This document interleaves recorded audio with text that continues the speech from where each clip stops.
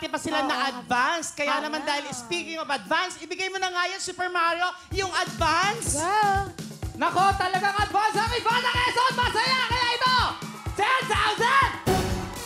Yay! Thank you, Super Mario! Ayan, ako, eto na. Kailangan nyo lang po, ah. Tatandaan nyo lang po. Ito po yung mga dapat nyong gawin. Kinakailangan nyo lang pong putukin ang walong lobo sa pamamagitan ng pag-upo. Si 1 puputikin si 2, si 2 puputikin si 3, si 3 kay 4. At si 4 naman puputikin si 1 and so on hanggang sa maubos sa walong lobo.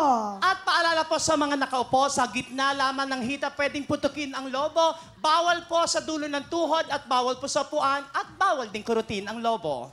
Tama-tama ka dyan. Para naman sa mga uupo ng lobo, ito na po, bawal na bawal ang hawakan at balakangin ang lobo.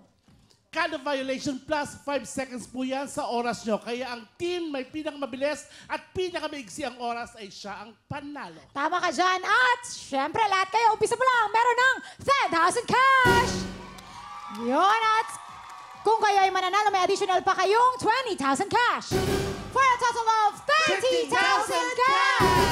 At syempre, hindi lamang yan ang good news. Meron pang isang good news dahil kapag naputok ninyo ang lahat ng lobo, within 20 seconds or less, makakatanggap kayo ng karagdagang 20,000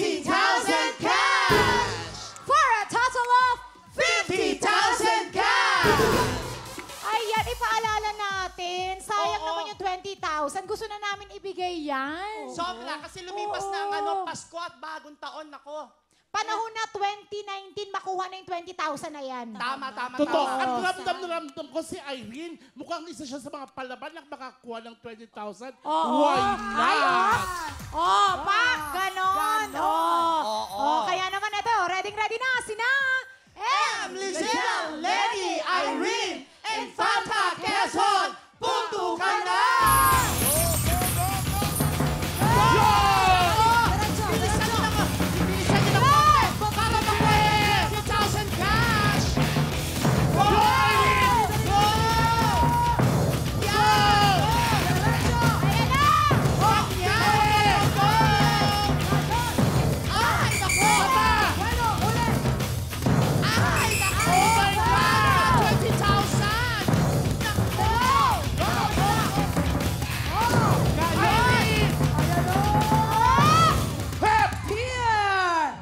Ganon! Ganon! May konting delay lang pero laban Oo. pa rin. Kaya hindi na Dire-dire. mabilis sila para silang trapiko, may konting pagbabagal sa dulo. At syempre pa, alamin na natin ang, is- ang ah, oras ng Infanta Quezon dahil ang oras nila ay... 31 seconds! 31 seconds. Mabilis, Mabilis, ah. Oo, Mabilis. Toto, 31 seconds at may, ganun- may pagganon si Irene. Oo, confident.